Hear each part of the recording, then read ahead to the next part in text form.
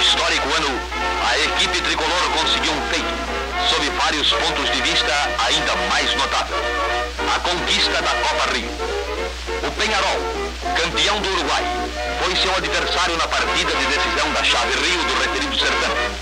O quadro tricolor, egresso de uma campanha irregular, com resultados pouco convincentes nesse torneio, entrara no gramado sem a credencial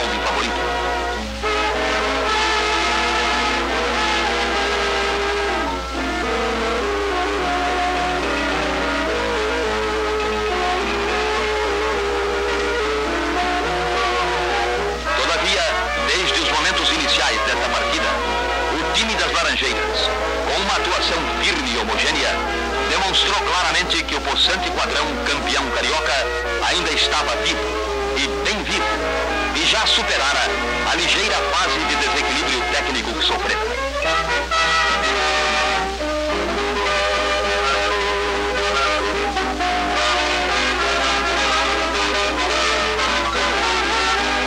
surgiu o primeiro gol do ninguém mais duvidava de sua vitória sobre o campeão do Uruguai.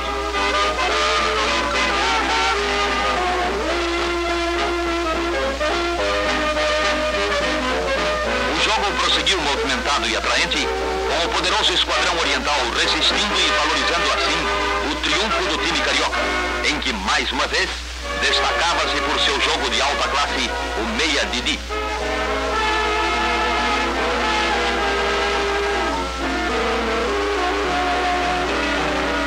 mais um gol. Fixando o placar em 2 a 0, o Fluminense derrotou o Penharol, time base do selecionado então campeão.